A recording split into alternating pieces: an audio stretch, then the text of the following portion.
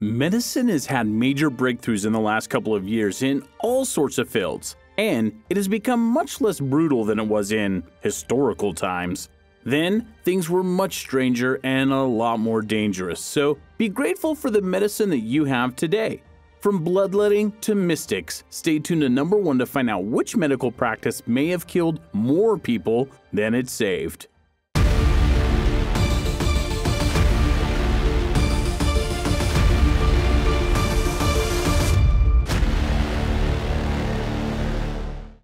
Number 10. Urine as an antiseptic. I think the title says it all, but we'll elaborate.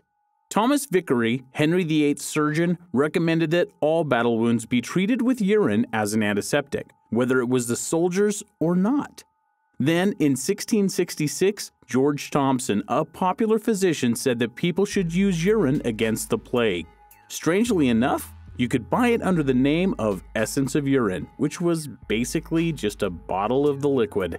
As disgusting as this might be, urine has had many utilizations throughout the years. Some doctors even claim that urine should be drank for medical purposes. However, back then, the water that they had access to was not usually purified or even as drinkable as it is nowadays, so urine may have been a healthier choice for some unfortunate people. Number 9. Bloodletting. Back in medieval times, even the most renowned and highly trained doctors thought that sicknesses came from having bad blood in your system. Therefore, when people came to doctors with illnesses or different diseases, they were often diagnosed with an overabundance of blood. In order to restore harmony in your blood balance, the only way to do that was to cut a vein open and let some of the person's vital fluids drain into a container.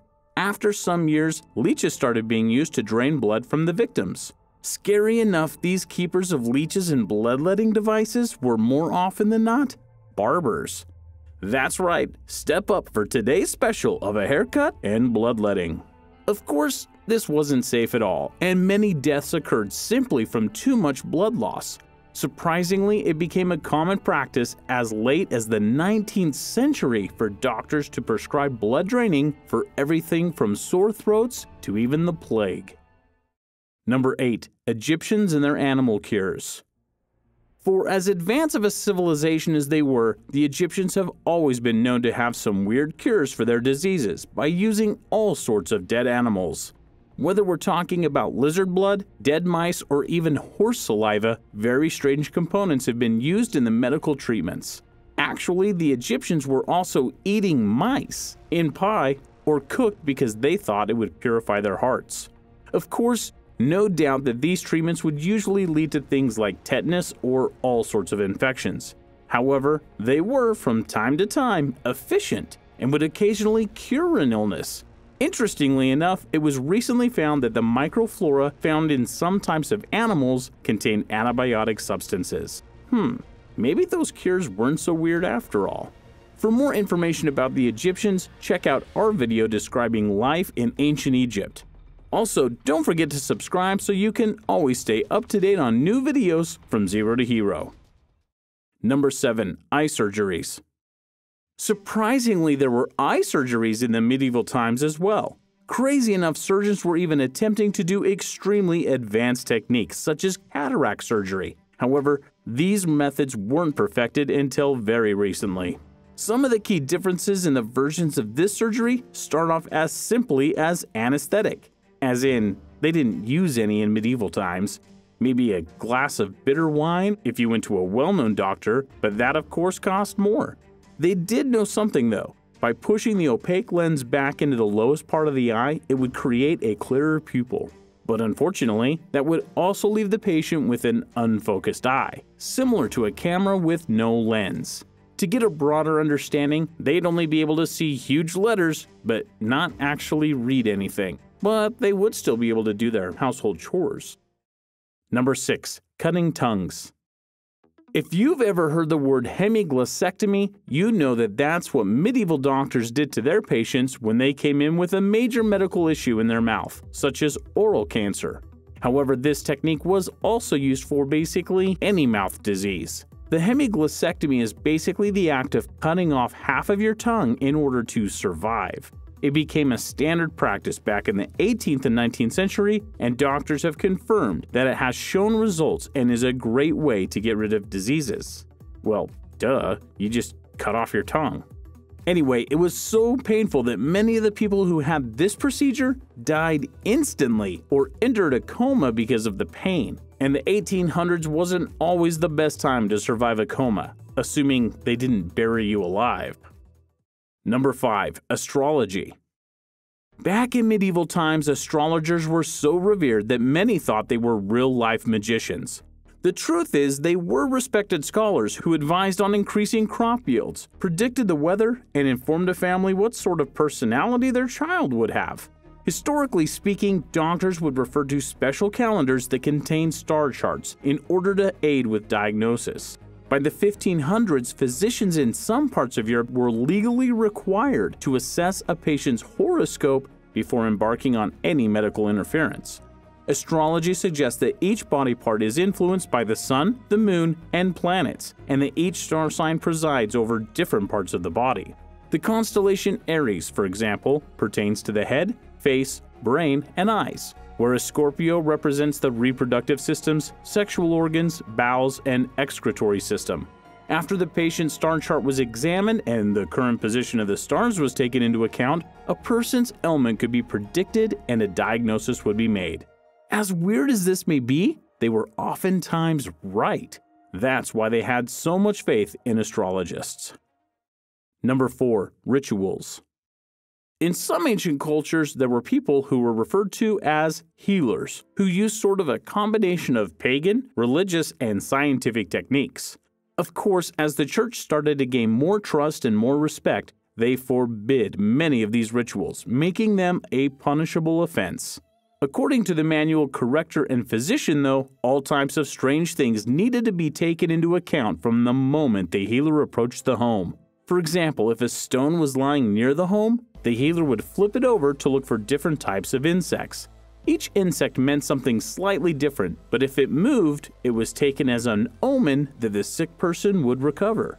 This sounds like an accurate way to determine whether or not you're gonna live people who came across horrible diseases were told to perform penance. Penance, as you might know, is the practice of admitting to your sins and performing a variety of rituals as prescribed by your priest. Many religious followers were told that they might escape from death if they would confess their sins correctly. I guess if it didn't work, at least you died with a clear conscience. Number 3. Clysters. This was extremely popular back then, and even royal families used this technique. One king, King Louis XIV, even had 2,000 clysters in his reign. You may know this technique under a different name. Today, they're called an enema. King Louis was even known to hold up court while he was receiving his treatments. It actually became so popular that people would start using them just to be in trend, rather than for different health related purposes. A clyster was a long metal tube that was introduced into the rectum. It had a hole on the top where doctors would then put medications, syrups, or any other treatments that they felt that the patient needed. The physicians would perform a lot of pushing motions that would force the medication to go into the colon area. Sounds fun. Number 2. Hemorrhoids. If you have ever had the misfortune of experiencing hemorrhoids, you know how painful they are and the excruciating pain you must endure in order to get rid of them. However, this just might make you grateful that you didn't live in the medieval times because it was so, so much worse. To give you an idea of just how bad it was, know that a hot iron poker was involved. Doctors would usually use cautery irons in order to deal with the problem by burning and pulling out the hemorrhoid, while the patient sometimes literally died of pain.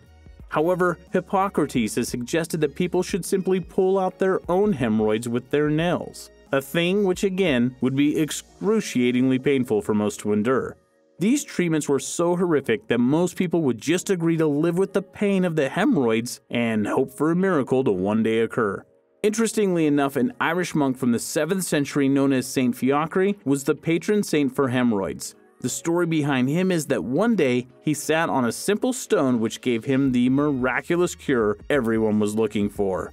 Even nowadays, many people go and sit on that same stone in hope for the cure. As you'd expect, most of them are not magically cured, and the ones that are probably have used a lot of medication before they sat on the stone. Number 1. Medieval Anesthesia Fun fact anesthesia was found only about 150 years ago, so medieval people did not have the benefit of using it. However, historic physicians found out different ways to sedate their patients, including combinations of herbs that would be used to calm them down or knock them out. This cocktail would include lettuce and vinegar, but potentially even deadly poisons such as hemlock and opium.